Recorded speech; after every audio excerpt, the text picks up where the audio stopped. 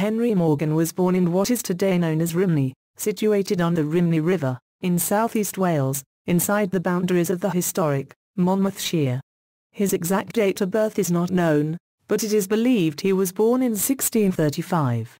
Henry's father was Robert Morgan, a farmer whose home was in Llanrumney. Henry also had a sister called Catherine. In 1666, Henry Morgan would marry his uncle's daughter, Mary Morgan, there would be no children.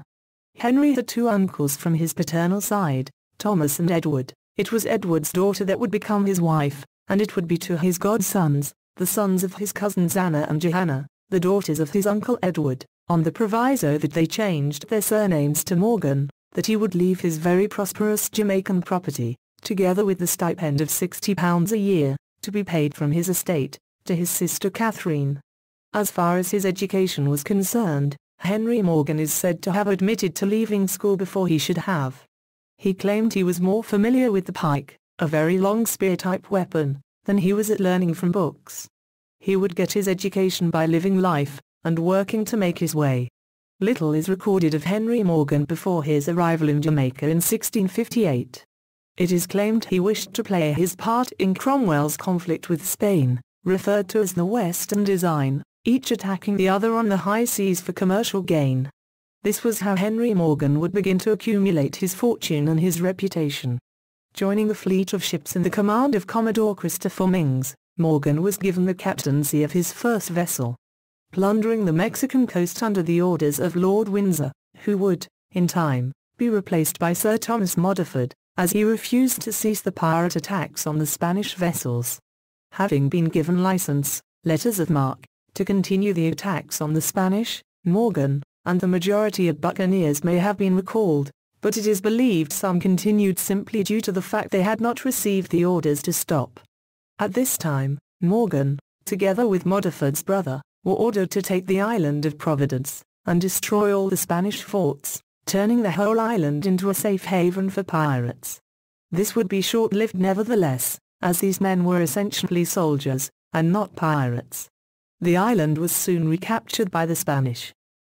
Henry Morgan was wont to use cunning to gain what he wanted. Dressing in an appropriate way and using word of mouth, he attracted the buccaneers and most daring of pirates, to him. In doing so he managed to engage 500 of the finest pirates in the vicinity. Many of his exploits were successful, some more than others. Most conducted under the guise of privateering and not piracy, and due to the lack, or unreliability, of messages reaching their destinations, he could plead ignorance of any failed orders. By 1674, Morgan was knighted and returned to Jamaica in the post of lieutenant governor. Falling out of favor with King Charles II in 1681, the post of governor would be given to Morgan's longtime political rival, Thomas Lynch. By 1683 Sir Henry Morgan would become suspended from the Jamaican Council indefinitely, by the plotting of Lynch. Around the same time Alexander X. Exquemelin, a one-time confidant of Morgan's, brought to publish an account of Morgan's alleged activities. Morgan was able to successfully discredit the publication, and also to bring a libel suit against the publishers. The book however, did contrive to create a reputation for Morgan as being a bloodthirsty pirate. From 1681 Sir Henry Morgan's health began to decline. It is believed he may have contracted tuberculosis on a trip to London. He was also diagnosed with dropsy, an abnormal accumulation of fluid beneath the skin.